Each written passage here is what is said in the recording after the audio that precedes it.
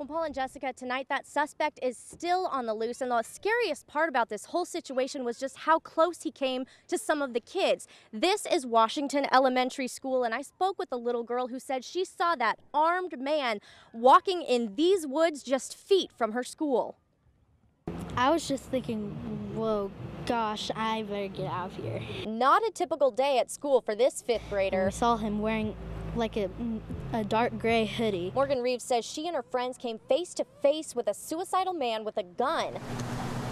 Norman police were looking for that suspect after someone saw him walking down an alley near Lincoln Elementary.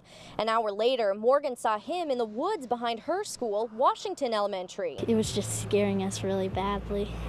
Did you see a gun? Yeah, he pulled out a gun out of his, out of his hoodie. She told a teacher and then police. The threat rippled across the Norman School District. Six schools put on lockdown as a precaution.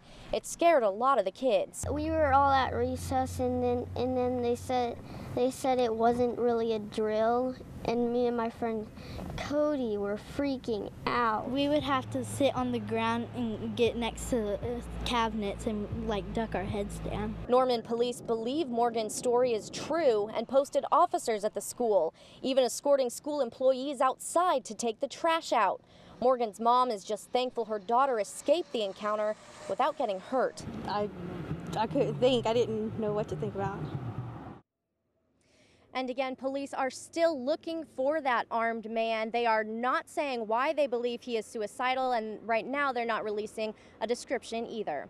Reporting live in Norman, Bree Steffen, KOCO 5 News.